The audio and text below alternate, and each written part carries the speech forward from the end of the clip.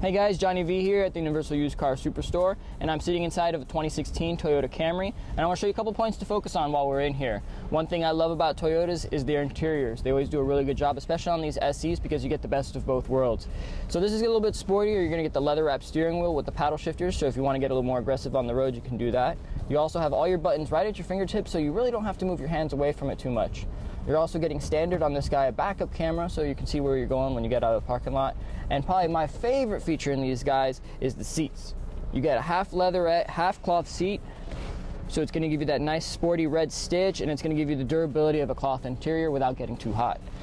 Overall, this is a beautiful car, a great example of some of the cars we have here at Universal Nissan.